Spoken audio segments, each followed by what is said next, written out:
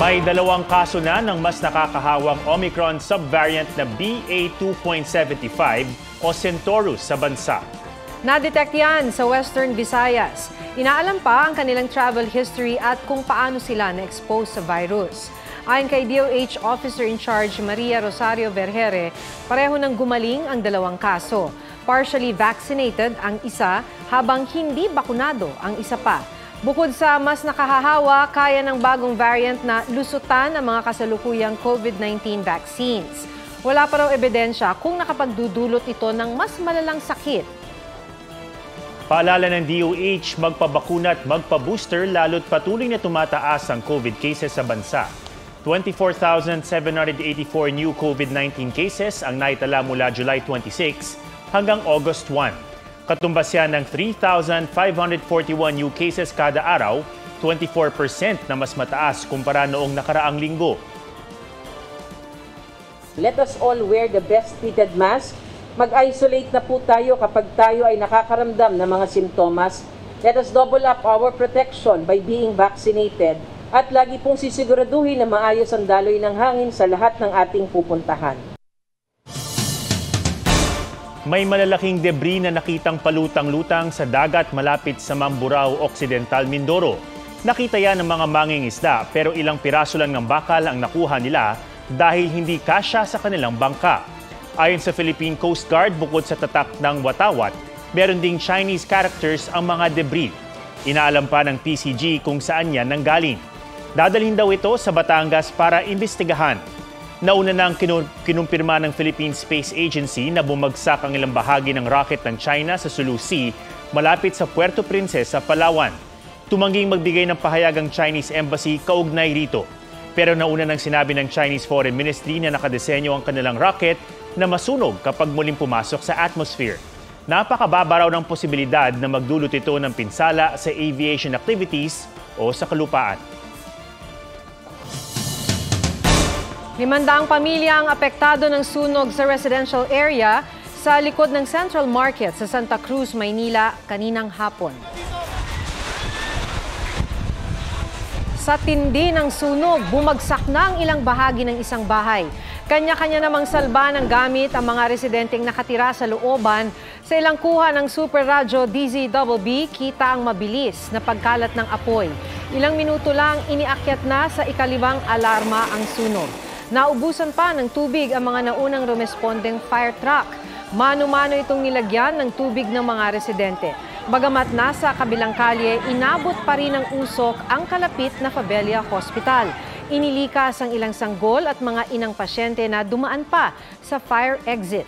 Naapula ang apoy matapos ang mahigit dalawang oras. Patuloy ang investigasyon sa sunog na hinihinalang dahil sa short circuit. Bibigyan ng barangay ng ayuda ang mga naapektuhan.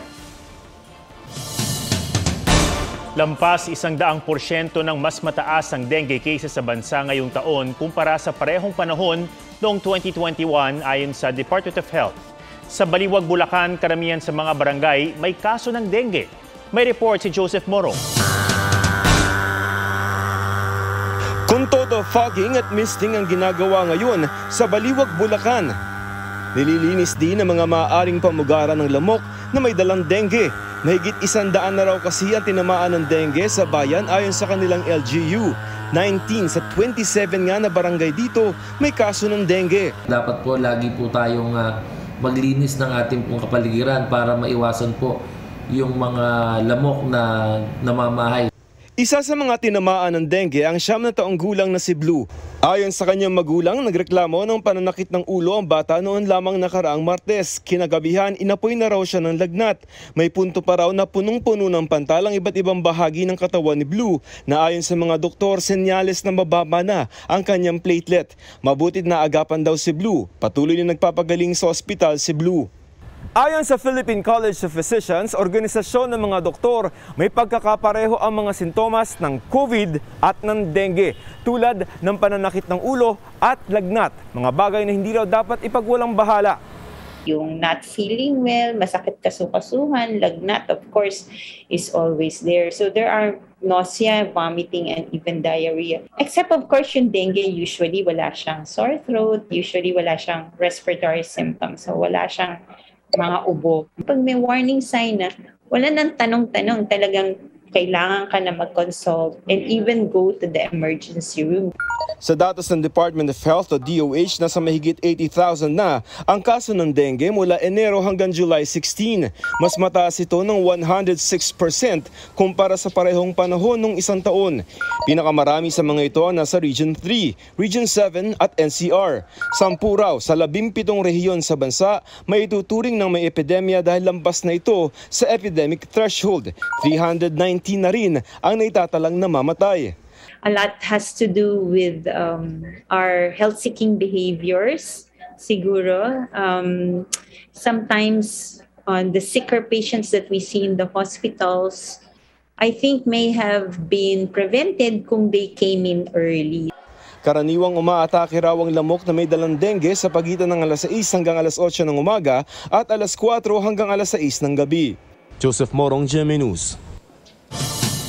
Aprobado na ng Department of Budget and Management ang 4.1 billion pesos na ayuda para sa pinakamahihirap na pamilya. Para yan sa second tranche ng Targeted Cash Transfer Program. Sa ilalim ng programa, makakatanggap ng 500 pesos kada buwan sa loob ng dalawang buwan ang mahigit 4 na milyong benepisyaryo na hindi bahagi ng 4Ps. Ikinatuwa ni Finance Secretary Benjamin Jokno ang pag-aproba sa pondo na pinamadali raw nila para makatulong na maibsan ang epekto ng inflation. Ganap ng bat- batas ang panukalang nagdodoble sa buwan ng pensyon ng mga may hirap na senior citizens. Ayon kay Senate Majority Leader Joel Villanueva, naglapse ito into law ang Republic Act 11916 nitong July 30. Mula 500 pesos, 1,000 pesos na ang matatanggap na pensyon ng indigent senior citizens. Nakasaad sa patas na bukod sa cash payout, dapat ding magkaroon ng ibang paraan para ipaabot sa benepisyaryo ang pensyon.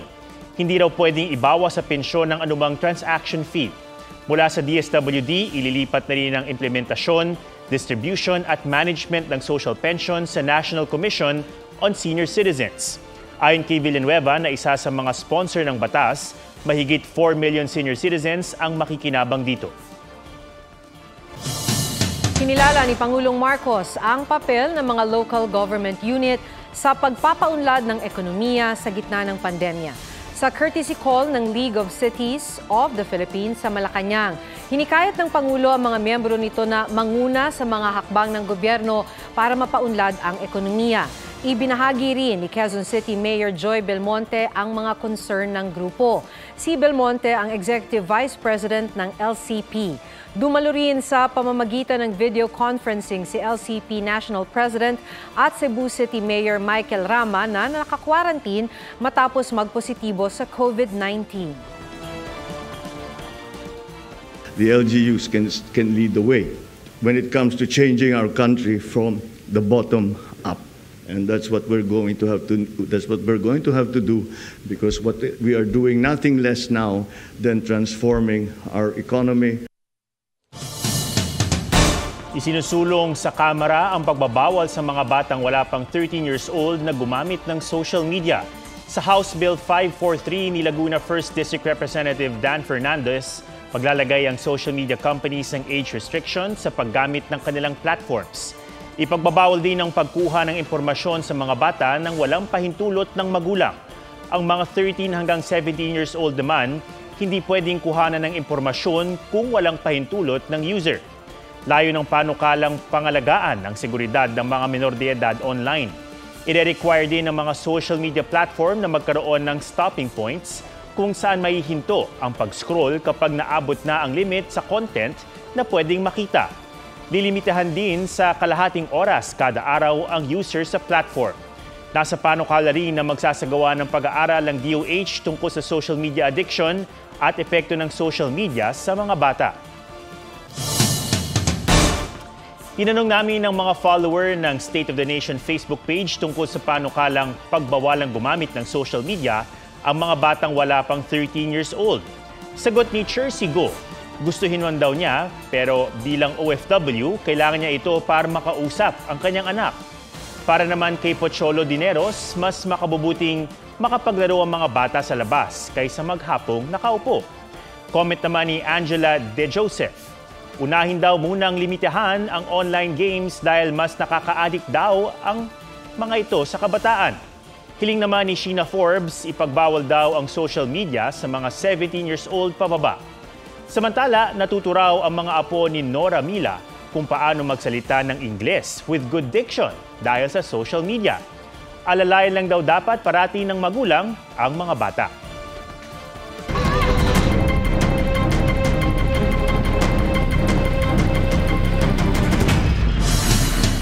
Lampas isang bilyong piso na ang halaga ng pinsala sa infrastruktura dahil sa magnitude 7 na lindol. Sa pinakahuling datos ng National Disaster Risk Reduction and Management Council o NDRRMC, pinakamaraming nasirang infrastruktura sa Ilocos Region, Cagayan Valley at Cordillera. Mahigit 15 million pesos naman ang pinsala sa agrikultura. Sampu ang napaulat na nasawi at halos apat na raan ang sugatan sa lindol na tumama sa norte. Babala ng FIVOX, posibleng hindi kayanin ng maraming bahay sa Metro Manila ang pagyanig na kasing lakas ng tumama sa Abra. Paano nga ba masisigurong matibay laban sa lindol ang isang bahay? Alamin sa special report ni Oscar Oida.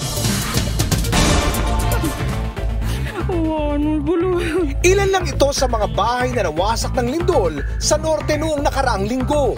Matindi ang pinsala sa Abra kung saan naitala ang epicenter. Pero may mga nasira rin sa iba pang bahagi ng bansa. Tingin ng ilang eksperto, maraming bahay sa bansa ang hindi earthquake resilient. And when you say resilient, yung right after a major earthquake is you can immediately occupy yung house without any serious damage. Ito sa current building code natin is ang goal natin dito is life safety. Hindi mag-collapse ang structure and that will cause yung death ng mga tao. Kung ang Metro Manila raw ang yayanigin ng magnitude 7 na lindol, gaya ng tumama sa Abra, ito ang pangamba ng PVOX. 38% ng residential buildings ang pwedeng masira completely collapse. Maraming mamamatay kasi maraming residential buildings ang masisira, babagsak. Ayon sa isang structural engineer, ang kailangan siyasatin ang bawat sulok ng bahay mula sa bubong, kisame, dingding, poste hanggang sahig. Maging ang mga bintana, pintuan at hagdanan. Tingnang maigi kung may mga bitak at sira o kung mayroong hindi maayos ang pagkakagawa.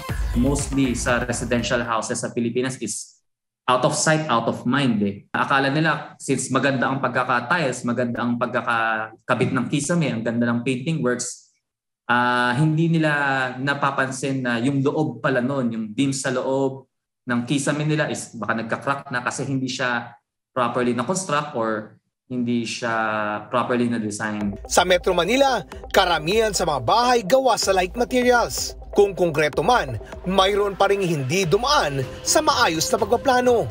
Payo ng eksperto, sumangguni sa mga may kaalaman sa engineering at structural intervention para maging ligtas sa ilalim ng sariling bubong. Ang sinasabi is, kapag sumunod sa building code, yung mga structures can withstand an intensity 8 earthquake. So yun lang yung solution natin. Even yung mga one or two floors na mga building, uh, hindi yan uh, ginagawa lang ng mga kapitbahay nating mga mason. Dapat merong tumitingin na na license sa civil engineer. Huwag daw panginayangan ang budget na ilalaan dito dahil maaring buhay ang katumbas nito. At bago pa tumama ang anumang sakuna, paghandaan na rin daw ang susunding evacuation plan. Tukuyin ang malapit na open spaces na maaring puntahan pagkatapos ng lindol. Oscar Oida, GMA News. Isang tanker truck ang nahulog sa Suwawan River sa Davao City. Sa videong nakuha ng GMA Regional TV 1 Mindanao, kinailangang magrapel ng mga otoridad para maabot ang nahulog na tanker. Kumpleto sila sa protective suit at breathing apparatus dahil hindi patiyak kung anong kemikal ang karga sa truck. Sa investigasyon, may iniwasang sasakyan ng tanker truck kaya nabangga ito sa poste ng kuryente at dumiretso sa ilog. Patay ang driver ng truck habang sugatan ng kanyang pahinante. Kanina umaga na pag-alamang caustic soda ang laman ng truck na nakakahilo kapag nalanghap. Tumagas ito sa Suawan River at may mga isda nang namatay roon. Hindi pa tiyak kung umabot na ang kemikal sa Davao River na konektado sa Suawan River. Bilang pag-iingat, bawal munang maligo o mamingwit ng isda sa mga ilog habang sinusuri pa ang tubig.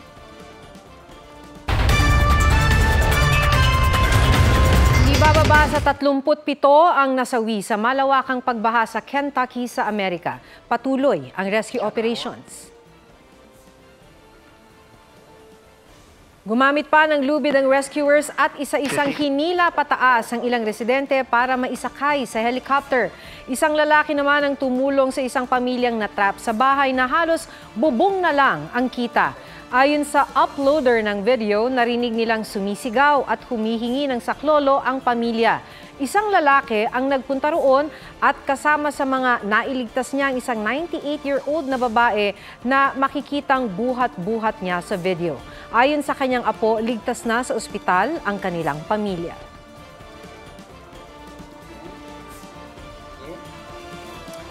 Show stealer ang isa sa backup dancer ng GOT7 member na si Bam Bam sa 2022 K-pop Masters in Manila.